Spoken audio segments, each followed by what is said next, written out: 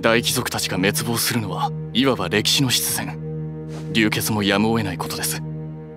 済んだことだもん言うな。ですがラインハルト様。キルヒアイス！お前は一体俺の何だ？全開出撃！一刻も早く金髪の小僧めの首をかき切ってここへ持ってこい帝国貴族の滅びの美学を完成させるのみだ。無意味だなキレ。我々にはまだアルテミスの首飾りがある。あんなものがあるからクーデターが成功するなんて妄想を抱く連中が出てくるんだ。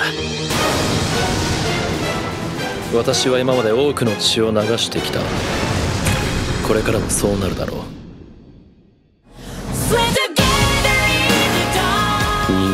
死ぬ。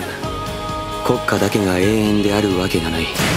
巨大な犠牲なくして存続できないような国家ならさっさと滅びてしまって一向に構うものか。ヤン提督の才能は同盟にとって必要なものだ。バンスバッハよ。奴を殺してくれ。止めろ！ラインハルト様ならいずれ分かってくださる。貴様よくも余計なことを。あなたにとって最も大切なものが何であるかをいつも忘れないようにしてください。銀河英雄伝説ディ・ノイエテーゼ青蘭第3章